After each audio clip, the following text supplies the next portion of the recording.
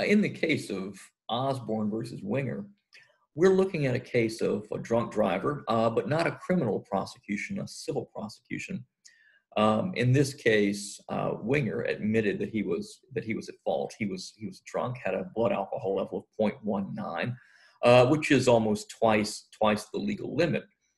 And the question is is whether the jury was appropriately prevented from learning uh, that Wenger was was insured. And and the, this case is a little more complicated than your ordinary case because there was also a lawsuit for, or part of the lawsuit was a claim for punitive damages. That because because Wenger was drunk, that that the jury ought to punish him in the civil context for his intoxication. And um, and so we learned then during the course of the lawsuit because because with punitive damages, the the amount of money that you uh, that you seek to get is regarded as obviously punishment.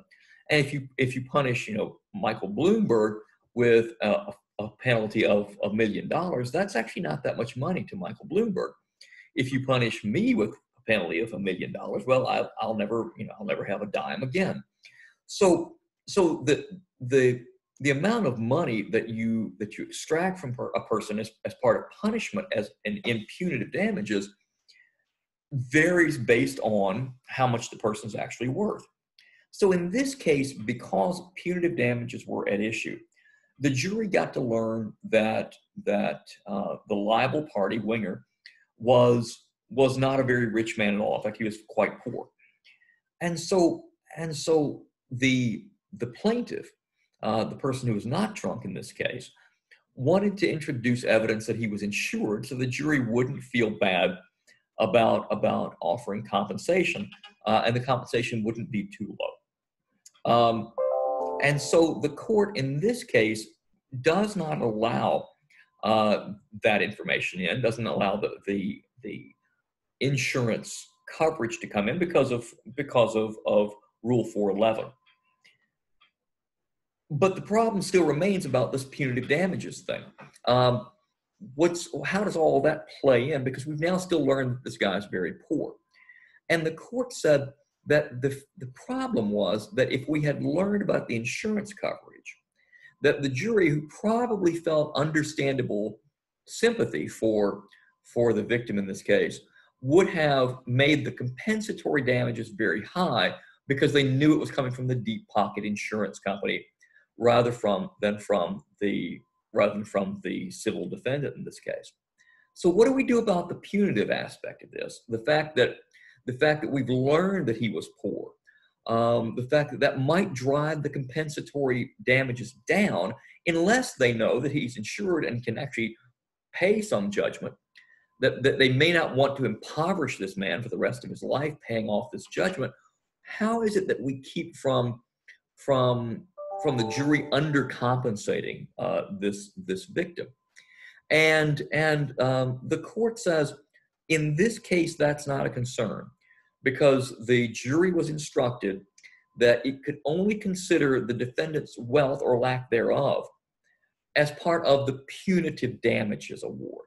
That they were to disregard the fact that they knew that the defendant was really poor in, in assessing compensatory damages.